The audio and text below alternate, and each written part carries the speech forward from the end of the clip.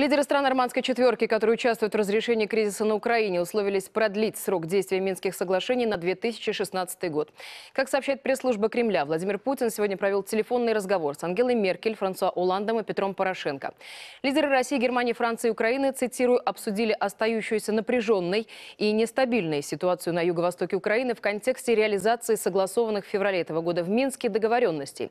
Все стороны отметили важность работы контактной группы для того, чтобы в дальнейшем Минск Минский план был полностью реализован. Договорились, в частности, еще одна цитата, активизировать дискуссии, ориентированные на скорейшую выработку и принятие закона о местных выборах в отдельных районах Донецкой и Луганской областей.